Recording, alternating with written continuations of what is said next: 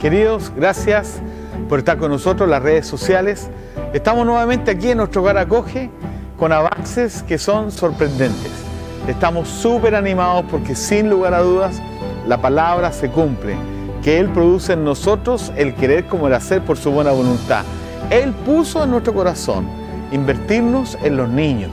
Por eso estamos en construcción del hogar acoge y te estamos mostrando algunos avances que ya hemos logrado, el tema eléctrico, calefacción, agua potable, red caliente, fría, las puertas de este patio donde los niños van a jugar con su invernadero, con sus juegos, ya estaban están todas puestas, los termopaneles, todos los módulos por fuera y por dentro están terminados, estamos trabajando fuera en la red eléctrica, en fin, Dios ha sido bueno, Dios ha sido fiel y lo hemos hecho con el corazón, confiando plenamente que esto está en un encargo de Él para nosotros.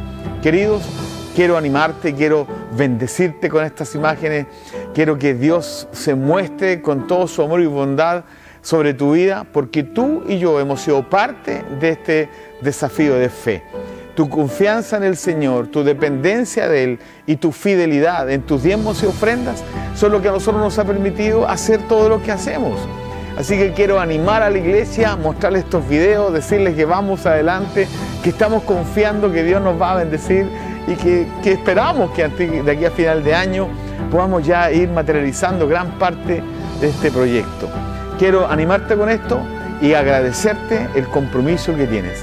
Dios es bueno y para siempre es su misericordia. Él está con nosotros hoy día, mañana y siempre. Así que sigan su compromiso de caminar con nosotros, de estar involucrado en nuestra comunidad y verá con sus propios ojos lo que el Señor ha puesto en nuestro corazón como un anhelo de Él para nosotros y para nuestra ciudad.